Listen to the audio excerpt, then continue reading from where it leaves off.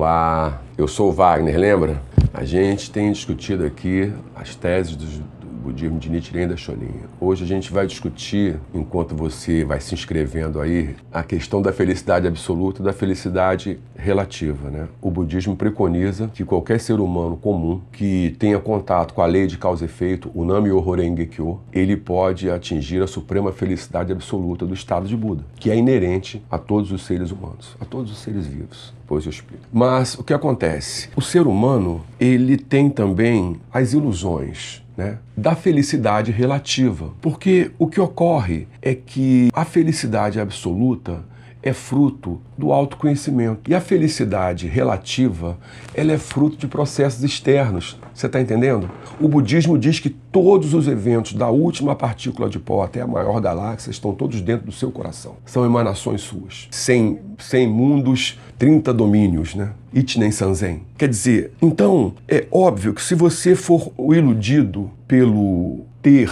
pelo ganhar, se você colocar toda a sua vida no carro, ou na conquista amorosa, ou em qualquer evento fora de você, é óbvio que a vida será muito ruim, será infernal. Porque tudo impermanente. Então tudo é absolutamente relativo em termos de importância. Ao passo que a felicidade absoluta não.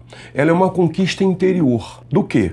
Da fé em você mesmo, de que você é o próprio universo, de que você é capaz. Meu amigo me perguntou assim, rapaz, o que é fé então? Eu perguntei para ele de volta. Você acredita que você está vivo? Aí ele olhou assim e falou assim: acredito. Eu falei: opa, descobrimos uma certeza, descobrimos uma coisa que você tem fé, você está vivo. Você tem certeza que você é o Renato? E ele falou assim: tenho. Eu falei: opa, uma segunda questão. Descobrimos outra coisa que você acredita e tem fé. Você é o Renato. Porque a fé nada mais é do que você ser capaz de, ao ver-se diante de graves e importantes problemas, ter a maturidade emocional e a consciência mental total de que você é capaz de resolver aquilo. Como? Abrindo a mente da sabedoria, recitando o Nam-myoho Renge-kyo. Porque se você começar a se preocupar em como você vai resolver o problema, é mais difícil, porque são 3 mil como por segundo tu não vai acertar. Ao passo que se você determina que vai resolver o problema e recita Nam-myoho Renge-kyo, a tua intuição vai levar você ao momento preciso. E na hora de definir, você vai definir com tanta precisão que vai todo mundo em volta se iluminar enquanto você faz o mesmo. Então a felicidade absoluta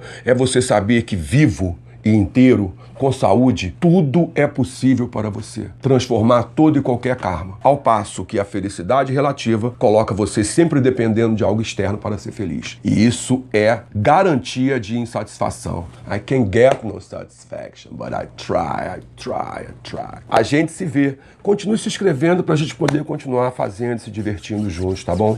Não me horror Boa sorte.